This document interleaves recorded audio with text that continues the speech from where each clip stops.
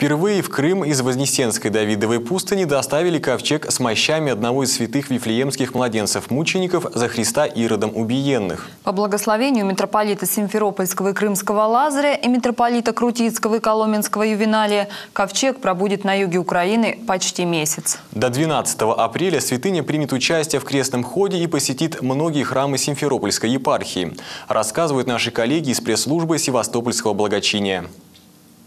Ковчег с мощами одного из святых вифлеемских младенцев встречали у Свято-Владимирского собора в Херсонесе.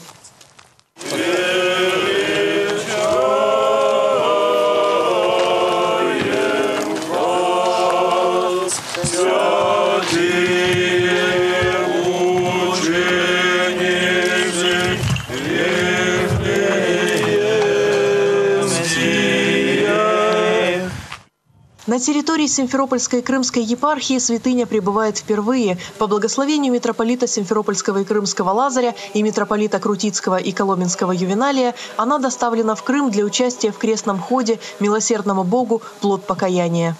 К этой святыне обращаются прежде всего те, кто э, совершил грех аборта просят, э, дело в том, что святые мученики, вифлеемские младенцы стоят перед престолом Божьим, вот, и к ним обращаются именно о прощении греха э, аборта. Ковчег с мощами одного из э, вифлеемских младенцев прибыл 16 числа в Симферополь, в парке Шевченко.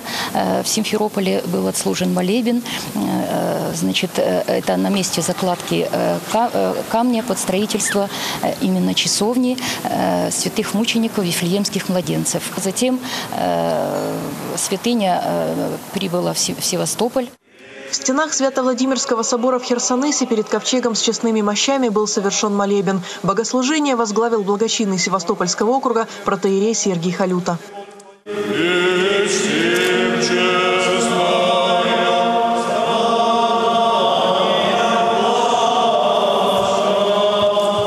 Миллионы детей ежегодно нами же убивается, уничтожается.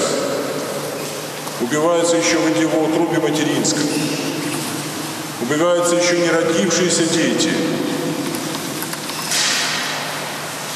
И вот, наверное, сегодня нам, молясь сегодня этих мощей, нужно умилостивить Бога о том, чтобы Господь вразумлял наш народ, чтобы наш народ не поедал сам себя, не уничтожал сам себя.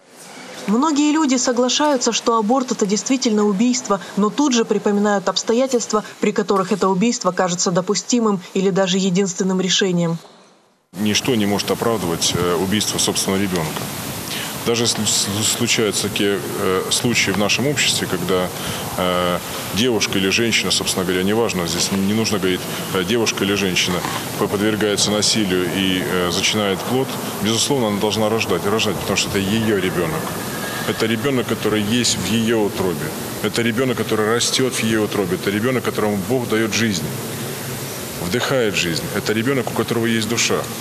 Поэтому, безусловно, э, где-то убийство, оно не может э, ничем оправдываться. Совершенно ничем. Ни, времени, ни временами, э, ни, ни политическая конъюнктура, ни временами войны, ничем не оправдывается.